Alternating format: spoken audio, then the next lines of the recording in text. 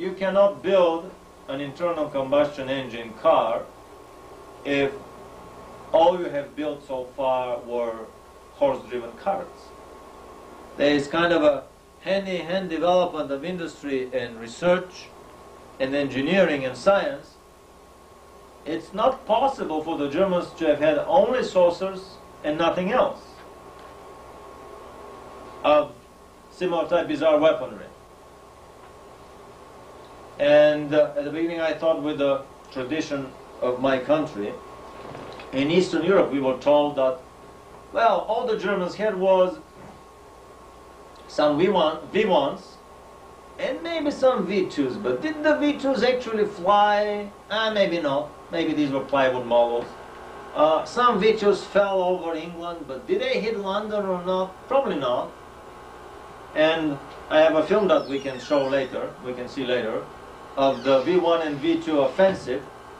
5,000 V2s were produced and a lot of them hit London.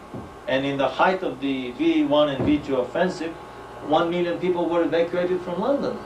England was on the brink of uh, the, the, getting out of the war. If they were just a few weeks more advanced with the project.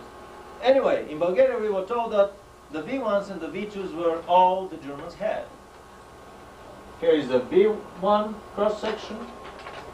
Here is the V2. That's all. And then I started my research in some very hard to find books of this sort.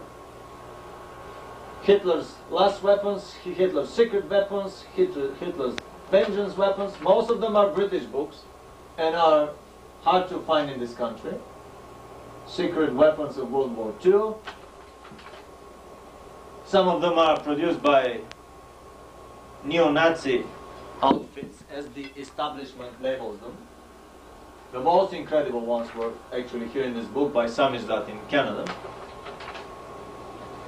The Deutsche Waffen und Geheimwaffen des Zweiten Weltkriegs, this is Rudolf Lusar, a patent bureau officer, was the first one to mention in the official literature the existence of German flying saucers. In this book, this is an extremely rare book to find. Published in Germany, and when it was translated in English, here it was shortened, as it happens always with the books that have dangerous information. And many other books. I have made a big volume of these, and this is just a small part of them very hard to find books, basically collector items. And I have found sometimes a single photograph from a book. So rare are these photos. And if you don't know what you're looking for, you would just go over, over it without realizing, and I would give many examples here. They have a photograph of a spacesuit, of a pilot sitting in the cockpit of this twin-engine turbojet stealth fighter bomber built by the Horten brothers.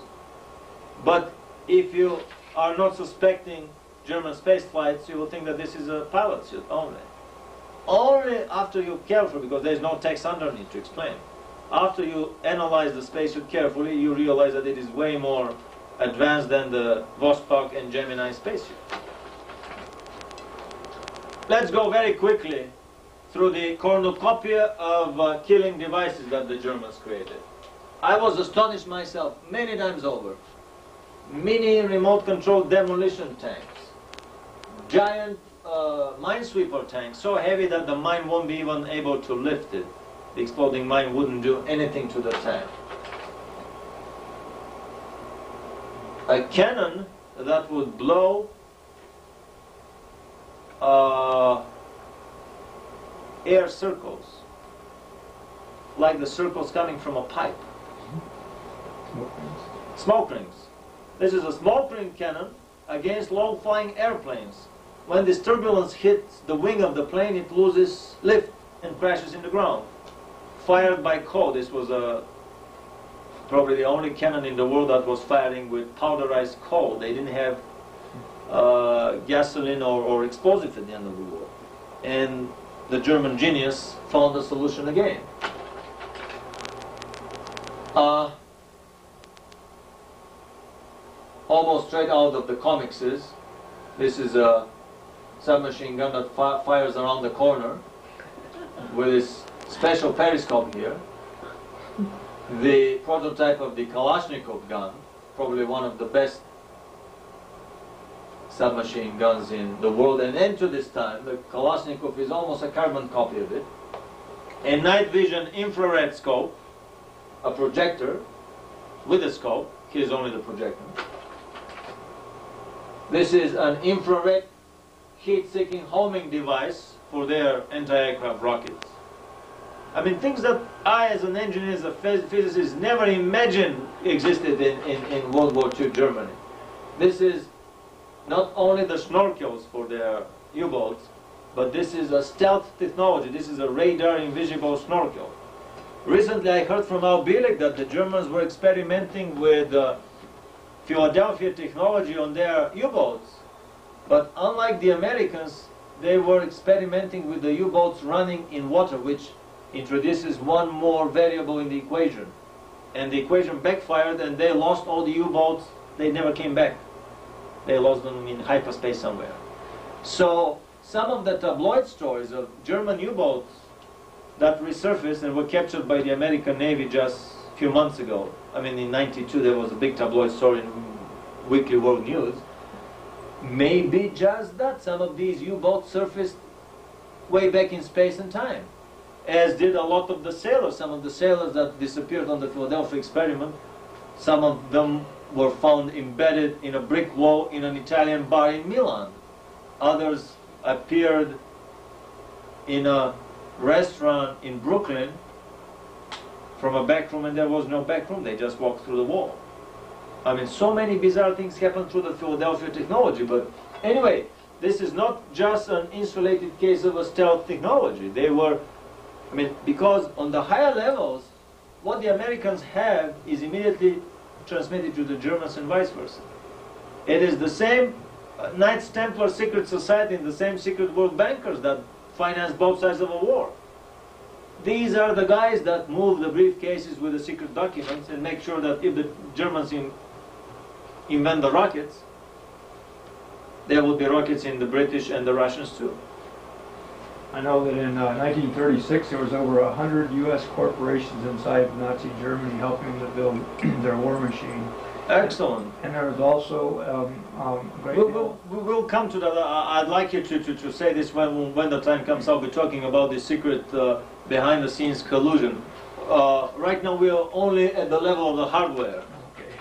Stealth technology. Now, these are machine guns that were firing upwards from a fighter plane. At the belly of the bombers, this was their least defended part. Who has ever seen a machine gun mounted in this way on a fighter plane? I mean, incredible solutions that show that the Germans had the guts, the fantasy, the imagination, the uh, engineering and scientific mastery, brilliance. I mean, I was so much impressed. Other, other books on the same topic. This is two bombers joined together with a fifth engine added in between to pull their giant gliders. Anybody seen I mean,